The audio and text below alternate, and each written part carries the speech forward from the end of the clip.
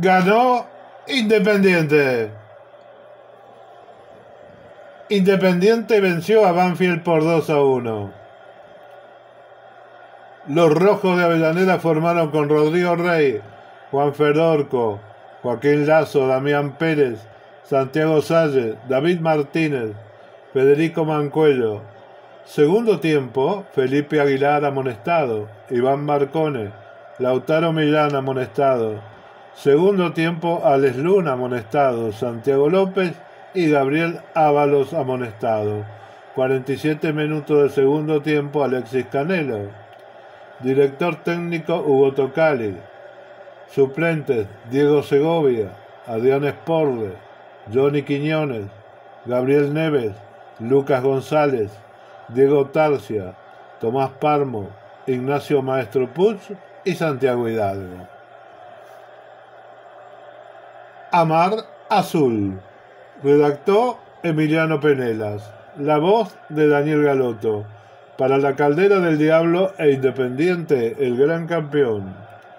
En el estreno de la camiseta azul, en el último de Tocali y del semestre, Independiente derrotó por 2 a 1 a Banfield, con momentos de muy buen fútbol y una gran actuación de Santiago López, quien marcó el primero y Ábalos el segundo de penal.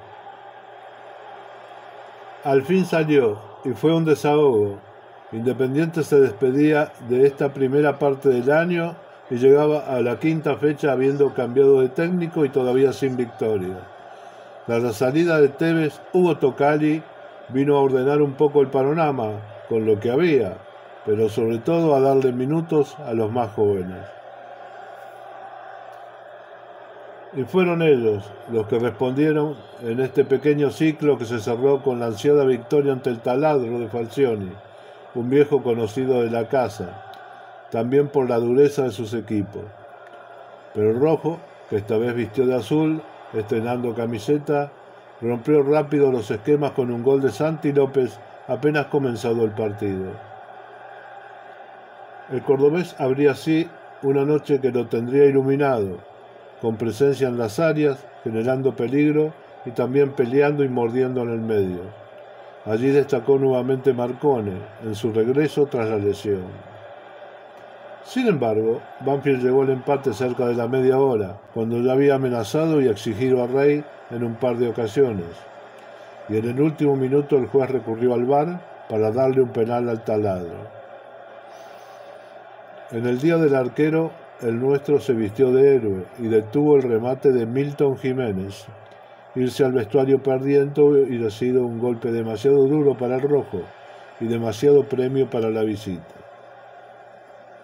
En la segunda parte nuevamente pegó de entrada Independiente porque Ábalos no falló en el penal que tuvo y devolvió la ventaja a los de Tocali, que en el entretiempo movió piezas, armó una línea de cinco defensores y ganó solidez atrás soltando a los volantes. Así hizo méritos para validar el triunfo, hasta debió haber sido por un margen más holgado. Terminó el miniciclo de Tocali. Llegará Julio Bacari y veremos cómo siguen creciendo los chicos. Redactó Emiliano Penela, la voz de Daniel Galoto para la Caldera del Diablo e Independiente, el gran campeón.